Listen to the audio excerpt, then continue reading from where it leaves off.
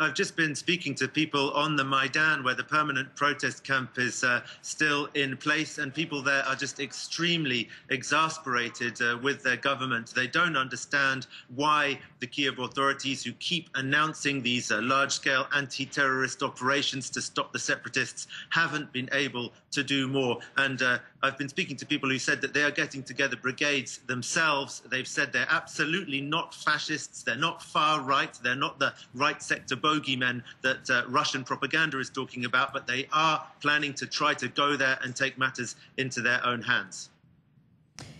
Now, the acting president has admitted that his forces are helpless to quell the unrest. So, as you were just mentioning, the, the government, the interim leaders giving many statements, but uh, we're not seeing much action from them.